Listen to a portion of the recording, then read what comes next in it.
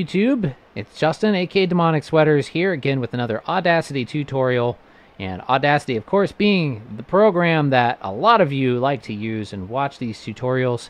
And I get a lot of questions about these Audacity tutorials and comments and stuff like that. And uh, what I wanted to do this uh, for this video was sort of go over uh, some of the things that I get asked uh, pretty much all the time in my other Audacity tutorials. So uh, I thought that would be a good thing to do. So let's go ahead and get started. Um, the first thing that I wanted to show you here is that I am using Audacity 2.3.2, which as of September 24th, 2019, is the most current version. Uh, so if you're not using 2.3.2, I suggest that you update Audacity before you move forward. And to do that, you can just go to audacityteam.org and uh, download the latest version. Make sure you download it from there, the official website, and not FileHippo or some weird, you know, like Mirror or something where you might get some kind of virus or an old version. Uh, just make sure you get it from audacityteam.org, which is the official Audacity website. So, 2.3.2, that's what we're on here. And the first thing that I wanted to talk about is my theme. And as you'll notice here, I have a dark theme. So if we just go here to interface in our preferences, right here you'll see your theme options. And if you switch that back to classic, it'll look like the old version of Audacity, which I still kind of like. I'm pretty nostalgic for that one. Um, so why don't I just leave that there for this tutorial, just for fun. So um, there's the uh, old looking version of Audacity, and never mind that my uh, text doesn't fill or doesn't fit in my little boxes here. That's just having to do with uh, what my system fonts are set at and things like that. I'm running Linux, uh, running Elementary OS uh, Juno, which is based on Ubuntu 18.04 LTS. But if you're using uh, Windows or Mac, this all should be the same as long as you are on the most current version, or at least very similar. So, okay. So, themes, we went over that. Preferences, interface is where you're going to find themes, and you have classic, dark, light, and high contrast and custom. Custom doesn't seem to do anything other than just make it the default. Maybe there's a text file or something you can edit to fix that, but I've never done it myself, so not really going to talk about that. Um, just going to leave it on classic for right now. Okay, so the next thing that I get asked all the time, first off, let me just generate a click track here. Some people say they don't have the rhythm track uh, to generate your click track. Now, you will have that if you update to the latest version. You should have rhythm track there. So that's the reason why you don't have rhythm track listed in your generate menu. So I just generated a click track there. And let's hear that back. Okay, so one of the things that I get asked all the time, well, first off, let me make a new track to record on. I'm going to go tracks and then add new mono track. And I'm going to click on it there and then rewind back to the beginning. And I have my synthesizer plugged in here. That's that sound right there. So I'm going to play something to this track. I'm going to record something. I'm going to turn down my mic.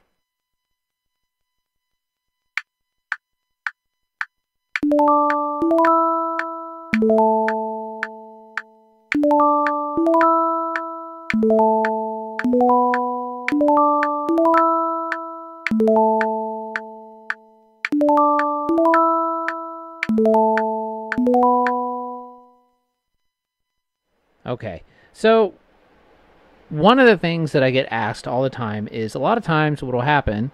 See, I just recorded right there, and if I go ahead and try to record like an overdub, I hit record, and it just starts recording right there after what I just recorded. So you can see if I play this back.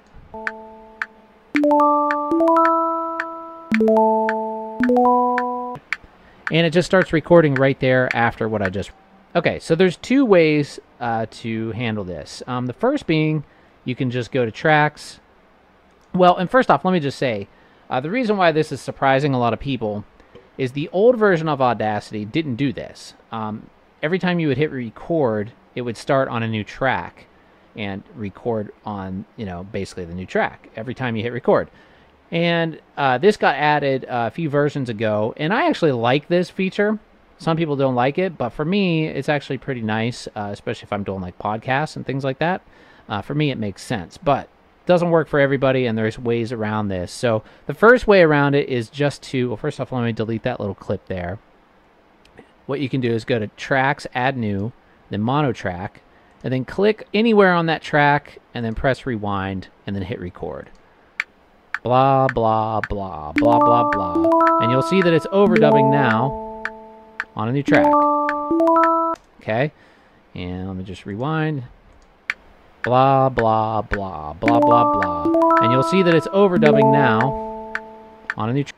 okay, so the second way to handle this problem is you can actually change the default behavior by going into Edit and then Preferences and then go to Recording and then right here under Options, just check the box that says Record on New Track and click OK there.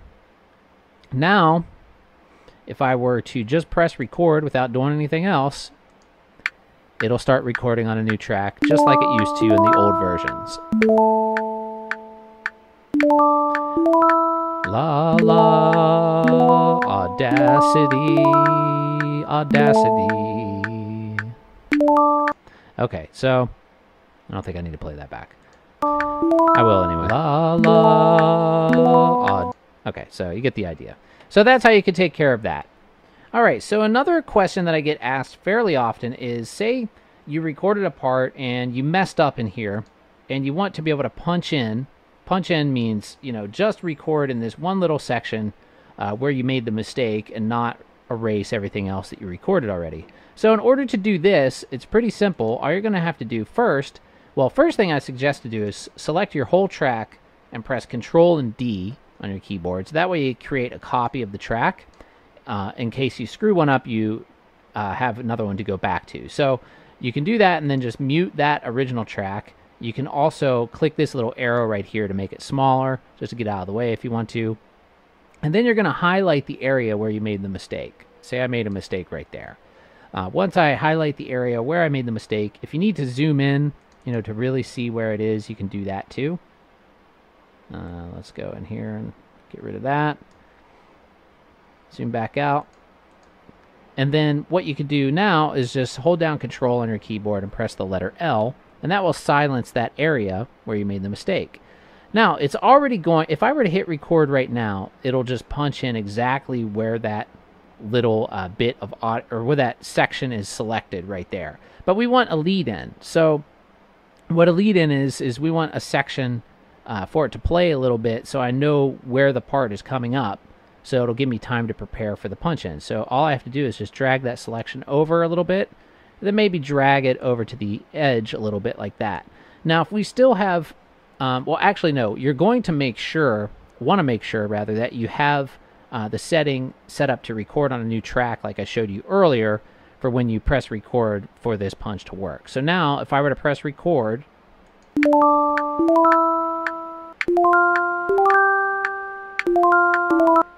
so you can see that it punched in right there in that little section.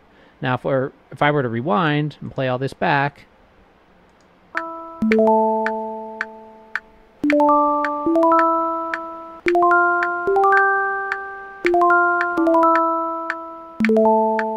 Okay, so that's how you do a punch in. Pretty easy. And now, if we fix the one that we wanted, we can either just leave this one muted or just delete that track. But it's up to you. Um, I'd just leave it there in case you need it again, personally. Oh, another thing that you could do uh, is something called punch and roll record. Now, what this does, it's pretty similar idea. Uh, all we have to do in this situation is say we have a section uh, where it was good all the way up to a certain part, but then it suddenly uh, just, you know, we made a mistake. So what you could do here is you can go to transport. Uh, you could select where it's going to punch in again and just put your cursor there. Go to transport, recording, and then punch and roll record. And it'll automatically jump back in time, then start recording right from this section.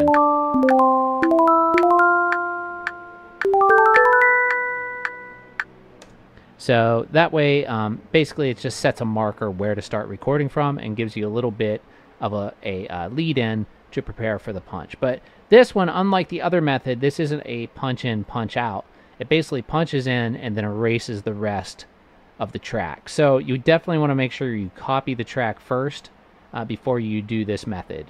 Um, so yeah, those are the main things that people uh, keep asking me about. And I thought that I would make this uh, little video about it because uh, rather than just keep answering the same comments, uh, I figured it'd be better just to do a video like this. So anyway, hopefully you guys learned something. And if you have any questions or comments, feel free to leave them down below.